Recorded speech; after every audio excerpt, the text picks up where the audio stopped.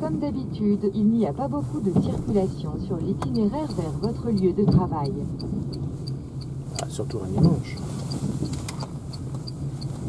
Bonjour à tous et à toutes, une nouvelle vidéo. Cette fois-ci, bon, bon, on est dimanche, temps de décembre avec 9 degrés. Il n'y a pas de gelée prévue, il va y avoir beaucoup de vent à venir. Ah, des grues.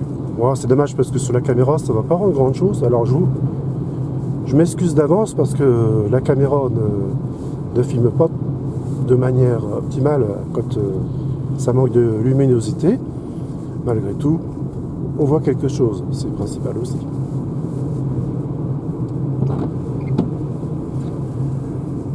Alors c'est un message que j'adresse. Ah, je vous assure, le nombre de grues qu'il y a. Elles vont directement sur le lac qui se trouve à gauche. À 2 km à vol d'oiseau. Comme le lac euh, est vide, hein, en grande partie, malgré la pluie qui tombe et les vannes qui sont fermées. Et elles trouvent euh, de quoi s'alimenter, même dans les champs, quand la, terre est retournée. Bon, c'est étonnant.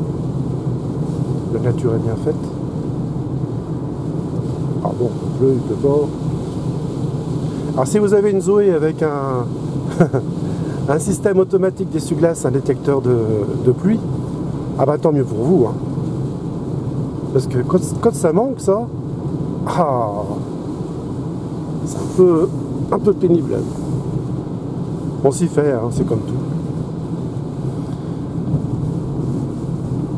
Alors un grand merci pour les, bah, les remerciements dans vos commentaires. Il y a des personnes vraiment qui... Euh, j'en viens pas, j'en viens pas, je vous, avoue. Hein, euh, qu'une chaîne comme celle-ci euh, puisse attirer du monde, même au point d'intéresser les personnes et de les engager dans, dans le choix d'une Zoé. Voilà. Bah, c'est parfait, c'est le but, c'est très bien. Et je vous complimente pour vos choix. Parce que de toute façon, il faut bien se dire qu'en électrique, on ne fera jamais le mauvais choix. Jamais. Quand on a le minimum de connaissances à disposition, on sait de quoi il en retourne, hein, que ce soit au niveau des prises, de l'autonomie, été euh, comme hiver, donc autonomie toute saison, et les possibilités que l'on a euh, offertes par cette voiture. Il faut bien penser à l'autonomie euh, journalière, de ce que l'on fait au quotidien, en fin de compte eh bien c'est parfait. Que vous ayez une petite C0, une Ion, ce genre de voitures qui vont faire 110-120 km. Et des personnes en sont enchantées de ces voitures-là. Parce que euh, le, trajet quotidien, bah ça ne va pas euh, au-delà de, de ce kilométrage-là, bien entendu. Si occasionnellement il y a besoin de faire un, un trajet plus long, il est même euh, conseillé de louer une voiture ah bah bien sûr, c'est fait pour ça. Ah.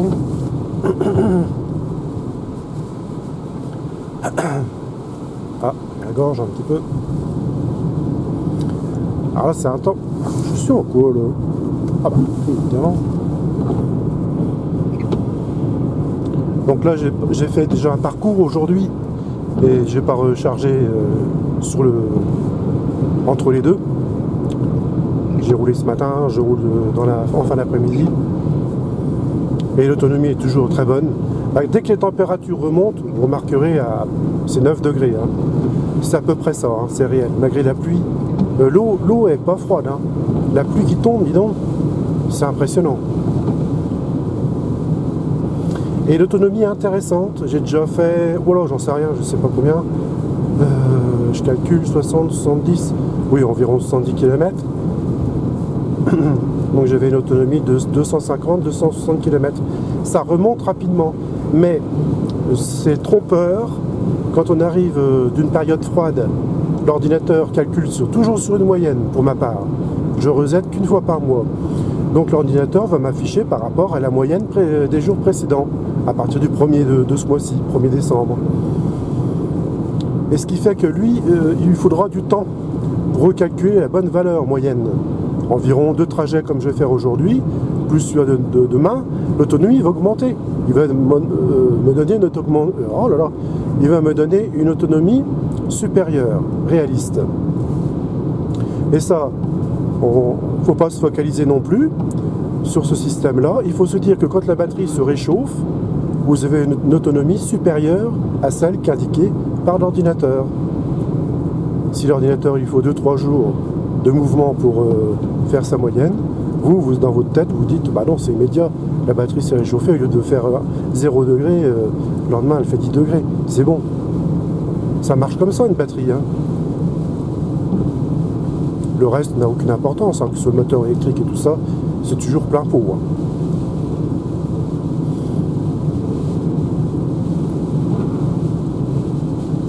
Oh, c'est pas des grosses pluies. Hein. Enfin, je veux dire, c'est pas des grosses gouttes. C'est une pluie fine. Alors, petite astuce euh, pour Google, si vous avez euh, une Zoé compatible Android Auto, vous connectez votre smartphone ou votre iPhone directement sur euh, la prise USB de la Zoé à l'intérieur. Ah, vous voyez, mon smartphone est connecté en permanence. Dès que je monte dans la voiture, je connecte le smartphone, c'est automatique. C'est un automatisme qu'on acquiert à force, hein.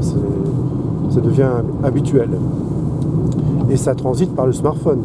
Toutes les informations indiquées sur l'écran, ça vient du smartphone.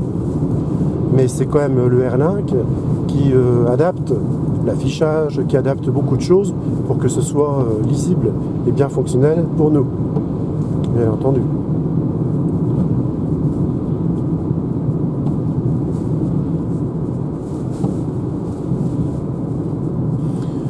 Quand euh, vous, donc, il fait sombre, il fait nuit, comme là, la nuit tombe, 5h moins 10, 7h moins 10. ce qui se passe, c'est qu'il faut pas mettre en, route tout de suite euh, votre éclairage de voiture. Parce qu'il va y avoir un problème d'affichage, pour ma part, hein, sur ma Zoé 2013, il y a un problème d'affichage, et ce qui fait que le, Google, l'affichage qui est sur l'écran là, ne passe pas en mode nuit. Il reste mitigé entre le jour et la nuit. C'est un, raté d'affichage en quelque sorte. Donc dans ces cas-là, j'ai trouvé l'astuce, c'est de mettre en route Android Auto, attendre que Google soit bien lancé, et ensuite on passe en mode code ou en veilleuse. Tout, passe en plus sombre, hein, bien sûr, sur le tableau de bord, tout ça, puisqu'on roule de nuit. Voilà, ça c'est une astuce, et ça marche très bien. Bon, bah, c'est récent, hein, c'est peut-être à cause des mises à jour qu'il y a eu sur Google, ça n'arrête pas. Hein. Que ce soit Oise, euh, Android Auto, tout ça, bah les mises à jour, euh, il y en a au moins une ou deux par semaine. Hein. Ils améliorent le système petit à petit. Google Maps commence à afficher comme Oise des problèmes euh, sur la route. Oui, je l'ai déjà parlé de ça. Des voitures qui bloquent ou mal garées ou autre chose. C'est pas aussi pertinent que sur Oise, parce que sur Oise, Bien sûr, ce sont les utilisateurs qui signalent les problèmes. là, sur Google Maps, est-ce qu'il y a un transfert d'informations entre Oise et Google, sachant que c'est la même euh, société? Je ne sais pas.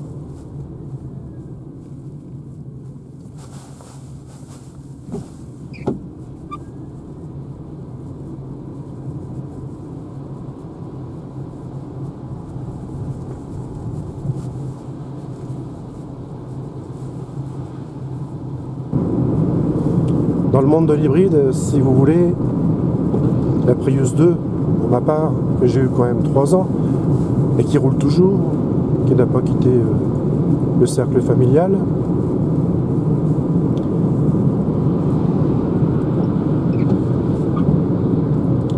Donc ce, genre de voiture, où, vous roulez en partie en thermique et en partie en électrique, bah, plus souvent en partie thermique qu'en partie en électrique, quand ce mode thermique se met en route, ça fait du bruit. Et quand on est habitué après à entendre rien du tout, parce qu'une une Prius qui tourne en électrique, sur son, petit moteur, c'est agréable, très agréable. Euh, je me suis vu rouler jusqu'à 70. Alors quand on passe de, ce mode, on peut forcer, il y a une touche hein, pour mettre en mode électrique sur la Prius, qui va être limitée à un certain, kilométrage, ça concerne l'agglomération. Et quand euh, ce mode gère automatiquement jusqu'à 70 km/h, un mode euh, qui n'est pas indiqué nulle part. je dirais, un mode économique sur la Prius. Et c'est un mariage entre l'électrique et le thermique. Et ça fait qu'on est amené sur une route comme ça, en ce moment là actuellement, si je roulais à 70 km/h, ça roulerait. Euh, si je roulais à, oui, à 70 km/h, la Prius roulerait en électrique à 70 km/h, mais pas plus. Mais la petite batterie s'épuise tellement rapidement que, arrivé par exemple cette petite côte, le thermique prend la main. Et ça se sent bien, hein. il n'y a pas de problème. D'un seul coup, du silence, on passe euh, au monde du thermique. Alors ça, on n'aura plus envie. Donc c'est ce système-là qui, m'a amené à passer sur l'électrique et à accepter les contraintes. Quand je suis monté dans la Zoé la première fois, j'ai dit, bon, je viens du monde du thermique, de l'hybride. J'étais vraiment euh, sidéré par la puissance et, le silence. Hein. Ah oui, mais pourtant, une Prius, hein, c'est quand même pas rien. Hein. Je me rappellerai toujours quand j'ai monté la première fois dans la Prius, en mode électrique, il y avait le commercial qui était à côté de moi. Ah bah, c'est impressionnant. Déjà, vous faites un, saut qualitatif. Hein. Ah, c'est certain. Mais on en demande plus du silence, plus du confort et plus d'économie. Parce que de toute façon, ce n'est pas réellement économique. C'est quand on passe dans le monde de l'électrique qu'on fait une économie. Et surtout, on n'est pas euh, appelé à dépenser du carburant pour, euh, pour 1 km, 2 km, sachant qu'une hybride a besoin de chauffer son moteur. Il faut environ 2 km. Et le moteur ne tourne pas doucement, il tourne assez vite. Vous ne pouvez pas le contrôler. Hein. Euh, le moteur est indépendant du reste. Hein. Tout est géré par ordinateur. Et même sur le contrôle technique, en Prius, ils ne peuvent pas faire le contrôle du CO2 parce que le moteur s'arrête, redémarre, et voilà, ça se passe comme ça. Je parle souvent de comparatif et d'expérience, bien entendu. Et comme vous êtes de plus en plus nombreux, nombreuses à vous abonner, euh, le, monde, le, nombre augmente sans cesse. Ben, c'est parce que ça vous intéresse. Merci à vous. Et donc les informations sont là aussi euh, en comparaison de ce qui existe et ce qui a existé.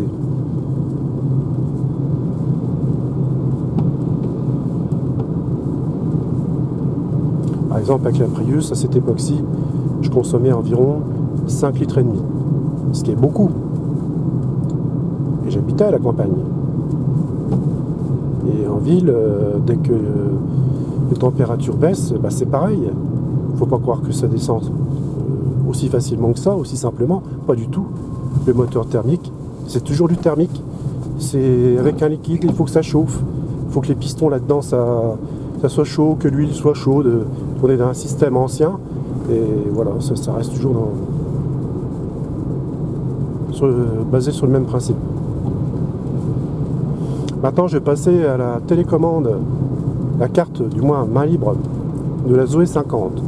Bon, vous savez que sur la, Zoé que j'ai, par exemple, vous avez les finitions supérieures, la Tens, la Zen, vous avez des cartes main libre. sur Renault, c'est très bien faire, hein. ça fait un moment que ça existe sur les Laguna, sur d'autres marques, d'autres modèles. Il n'y a pas de problème, ça marche très bien, j'ai connu. Vous mettez ça dans la poche, pas besoin de sortir la carte, vous démarrez la voiture, ça marche tout seul. Sur l'électrique, c'est encore mieux, c'est encore mieux. Sur un thermique, c'est ça j'ai connu aussi.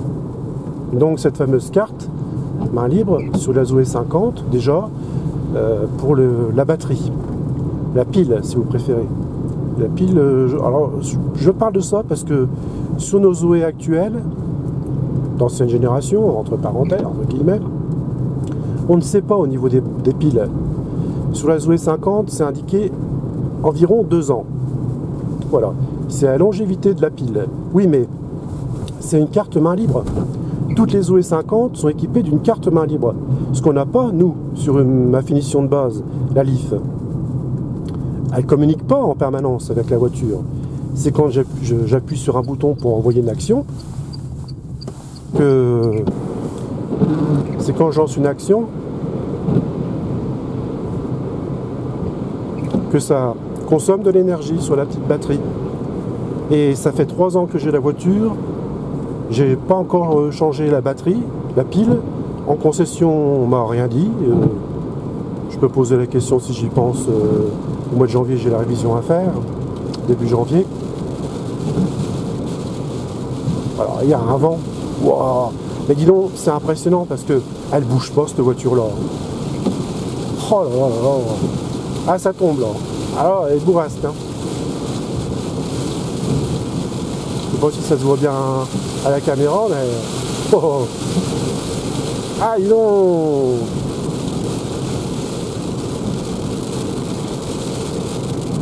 Les 50e rugissants là. C'est beau, ouais.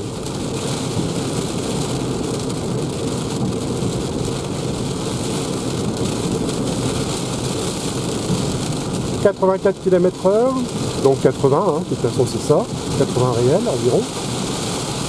Ah bah là.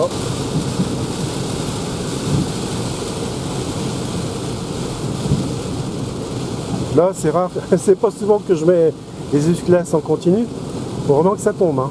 Et là c'est un nuage qui vient de passer, il est tout noir, et il n'est pas très grand, mais bon.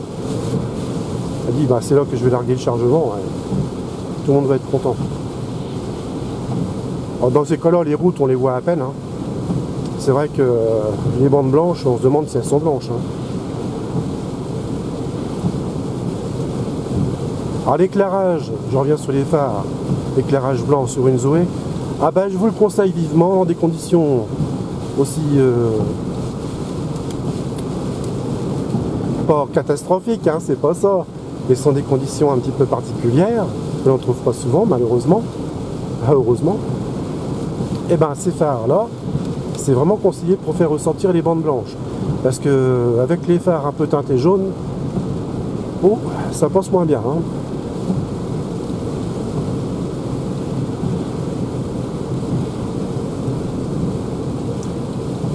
C'est impressionnant la stabilité de la Zoé. Je suis toujours bluffé par cette voiture.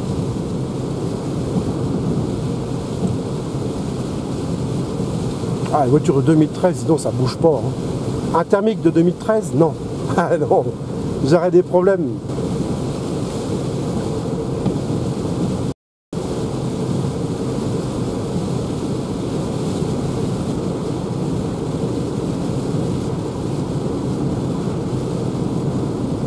Là, l'autopilote, dans ces conditions-là, il hein, faut faire une croix dessus. Hein.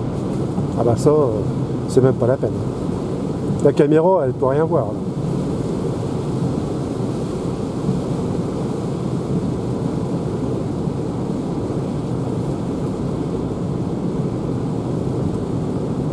Alors sur la télécommande de la Zoé 50, je continue sur le sujet, vous pouvez euh, déverrouiller la prise. Vous avez euh, la prise qui recharge votre voiture, branchée sur la maison, sur une borne de maison ou une borne publique, peu importe. Pour déverrouiller la prise, soit vous le faites depuis l'intérieur de la voiture, comme la Zoé actuelle, soit depuis la télécommande. Mais ça a changé. Il faut appuyer sur un. faut faire un appui long sur l'ouverture des portes, des portières. Ah ouais, c'est comme ça.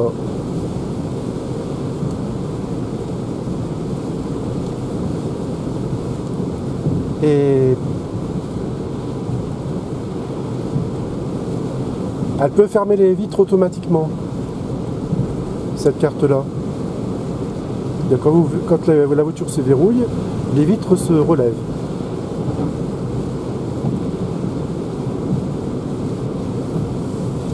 Ça fait une carte sophistiquée, mais il manque les options euh, qu'on l'on connaît et qui sont intéressante. C'est dommage que tout ça s'est disparu, bien sûr. Et là-bas au fond, on voit le ciel qui s'éclaircit.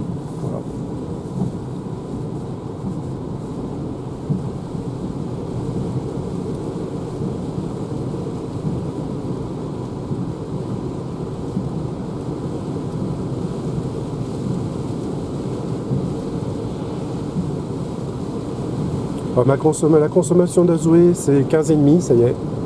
Ça atteint son, le plus fort que j'ai monté, 15,6 15,6 kW au 100 km.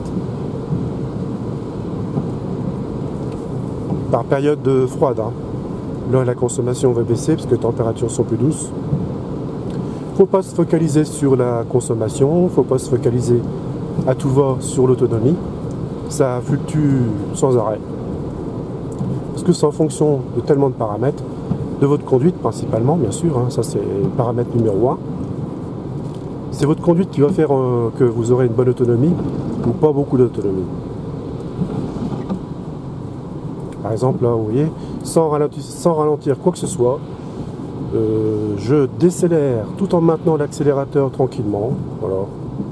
On voit la barre bleue, la, pile de, la pile bleue à gauche. N'y a rien qui s'affiche. Si je relâche, pof, ça y est, ça recharge et ça freine la voiture. Là, bah, comme il du monde derrière, je ne peux pas non plus les gêner. Je continue à maintenir, ça consomme rien. Ah bah c'est précis l'accélérateur d'une Zoé. Hein. Il n'y a pas pour long pour comprendre le principe. Hein. Oh, ça va très vite. Vous avez qu'une pédale à vous occuper, c'est celle-ci. Alors, pédale de frein, elle sert, sert pas beaucoup. Hein. Euh, je parle un petit peu d'utilitaire, ça ne dérange pas. C'est un fourgon Ford qui a été élu euh, bah, fourgon léger de l'année, ils disent ça comme ça maintenant, fourgon léger de l'année. Oh, c'est comme ça. Et bien la voiture de l'année, euh, le vin. Bah, oui, il faut bien quelque chose à dire. Et eux, ceux qui décident ça, on ne sait pas sur quels critères ils se basent, c'est un véhicule rechargeable. Mais il se vend tellement bien que bah, Ford, c'est Ford, hein, Ford n'arrive plus à suivre les commandes. Bah, les commandes sont bloquées, tout simplement. Un peu plus, et puis en stock, c'est fini, on n'arrive plus à suivre.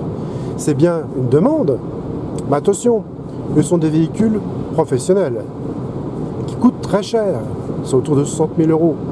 Et ça, c'est à cause de la fameuse taxe TVA, TVS qui est supprimée pour les entreprises. Et oui, parce que ça, euh, bah, elle ne paye pas. Bah, du coup, ça, rend intéressant. Le constructeur, ça l'arrange, parce qu'il rentre dans les critères européens pour euh, justement les véhicules verts. Et comme les professionnels sont aussi bien concernés que les particuliers, on en arrive à des situations euh, comme celle-ci. Alors je pense que ce sont des, flottes d'entreprises, principalement des livreurs pour la ville. Parce qu'à partir du printemps de 2020, ce genre de véhicule sera géolocalisé.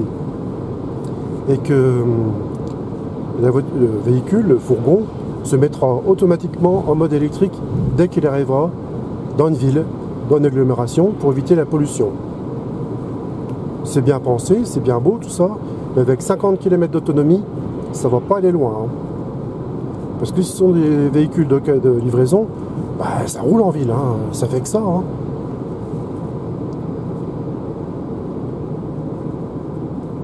Ah oui, ça fait des drôles de. Ça fait des drôles de système tout ça. C'est un peu bancal. Alors qu'il y a Nissan euh, qui a son NH200, véhicule léger, transport aussi, 100% électrique avec une autonomie vraiment intéressante. Bah, c'est la même autonomie que la Zoé que, l'on possède, la Zoé 40.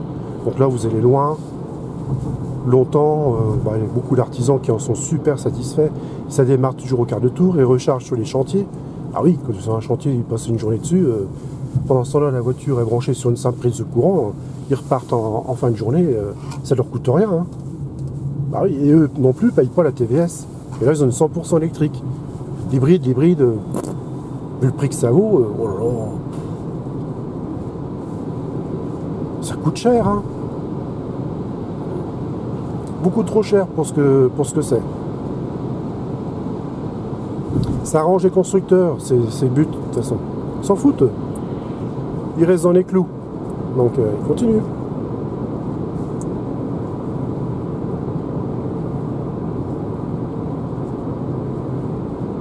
Vous voyez ici, un petit détail. Je ne sortir la, la rocade. Jamais je freine. Jamais. Il y a une petite montée, ça m'arrange bien.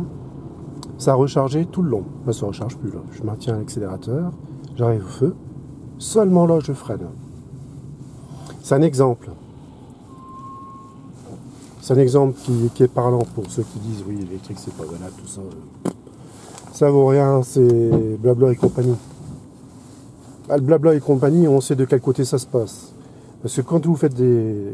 Vous roulez en électrique dans des conditions comme ça, que vous constatez que vous consommez pas beaucoup, que ça vous coûte pas cher, en usure de frein, c'est du 7% sur, 100 sur 80 000 km, 7% d'usure.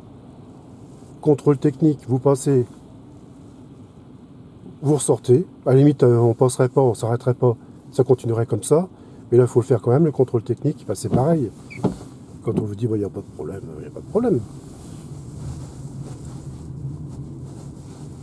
Voilà, c'est tout. Qu'est-ce que vous voulez dire d'autre?